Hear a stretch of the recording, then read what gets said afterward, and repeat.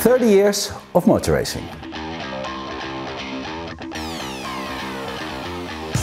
Motorsport from the start. Tim Alfa, Tom Romeo. My first championship, Citroën AX Cup.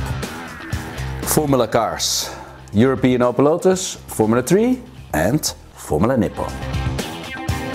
With a nice highlight, winner of the Masters of Formula 3. And then the Formula 1 test, two days in Barcelona.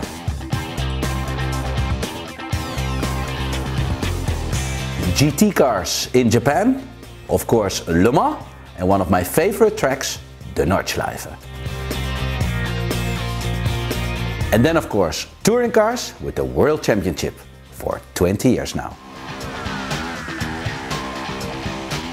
Multiple motorsport programs like Dakar. Since 2018, the WTCC became the WTCR.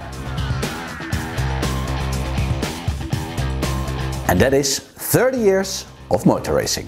So that means coming season will be 30 years of history plus one. So I will have a start number, yep, 31. I will drive in the WTCR with, Comtoyou, in the Audi RS3. It's time for more trophies in 2020.